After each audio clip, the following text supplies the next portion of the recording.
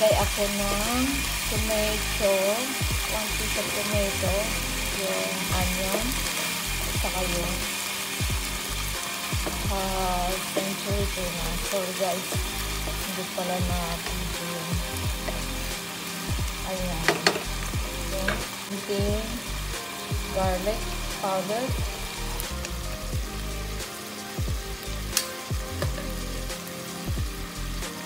At black pepper.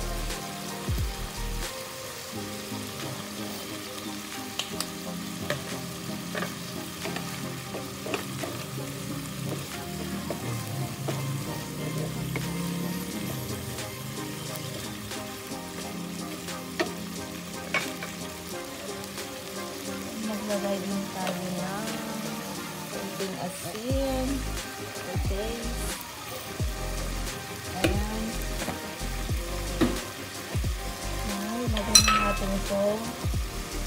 Red chili.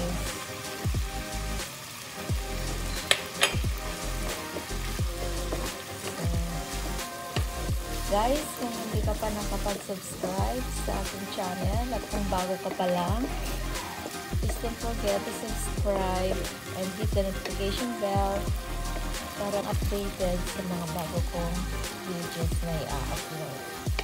So, ayan guys. Tignan natin lasa. Mmm. Sarap. So, lagay natin ng spring onion na konti. Ayan. Sarap. Manghang-anghang siya ng konti.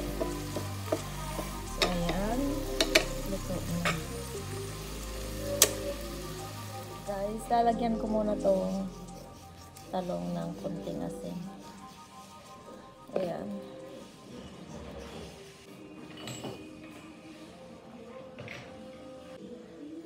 So guys, umpisahan na natin ang paglalagay ng ating tuna. White tuna na may chilies. Kahit konting asin na lang ilagay kasi malasa yung tuna at maanghang-anghang ng konti.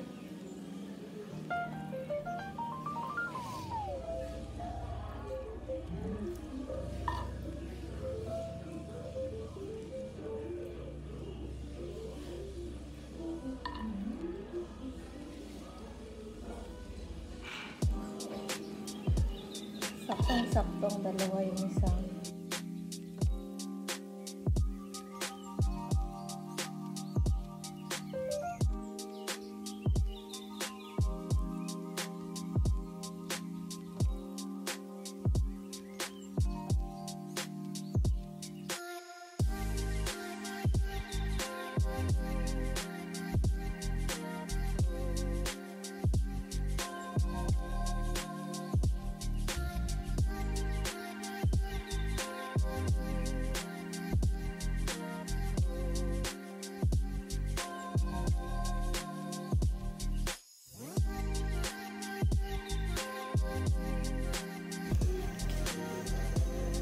So,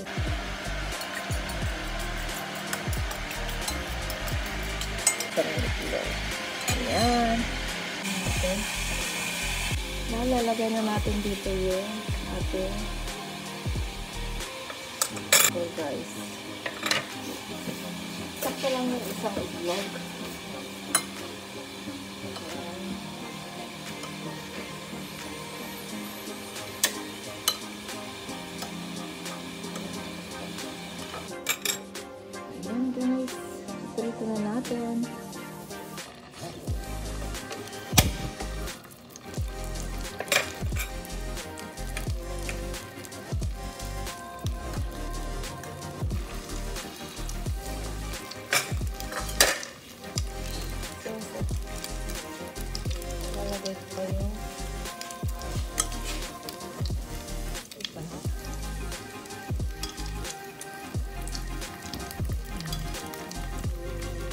i-level up ang tortang talong. Yes. Ayan po. So, kung ayaw nyo, lalayan mo ganyan. Pwede. Tanggalin. Para mas maganda yung Ipiplit natin guys ang ating tortang talong. Luto na ba? Luto. So guys, flip na natin itong ating torta. Oh, be careful. Yan. Sulutuin lang natin siya. Mahinang apoy.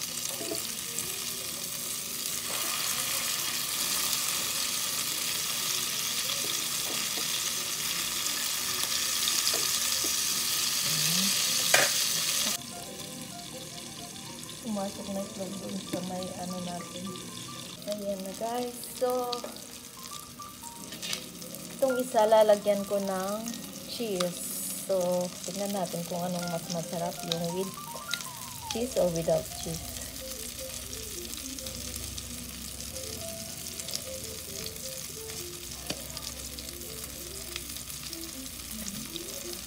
Ayan.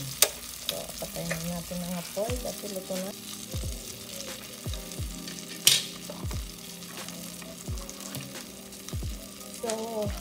Guys, hanguin na natin. Ayan guys, iminelt ko muna dun sa kung ganitong isa. So, para mag ano siya, melt. Just for 5 minutes.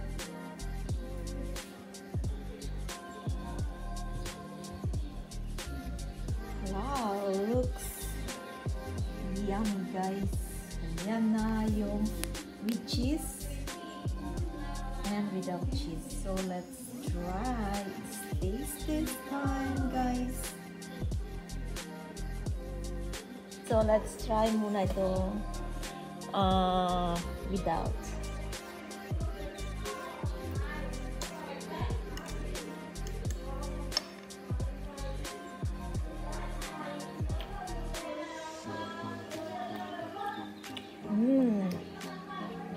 Sarap. Ang sarap. Ibang klase. Patyak magugustuhan ng inyong mga chikiting. Pwedeng pambawon sa eskwela. Breakfast. Pang pag may mga bisita kayo, papatikin nyo to. Sarap. Hindi lang puro torta i-level up natin ang tortang talong with San Marino tuna.